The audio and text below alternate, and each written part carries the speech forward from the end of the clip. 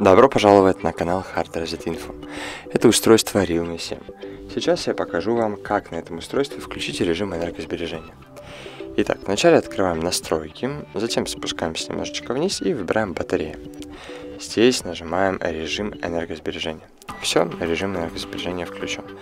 Но это не все. Есть и режим супер энергосбережения, в котором ваш телефон вместо полутора час, часа продержит целых 6 часов. Тут доступно, конечно, всего лишь 6 приложений. Вы можете добавить 3 своих на выбор, но желательно это не должны быть какие-то мультимедиальные приложения. Ну вот, допустим, вы какие-то добавили, вот и все.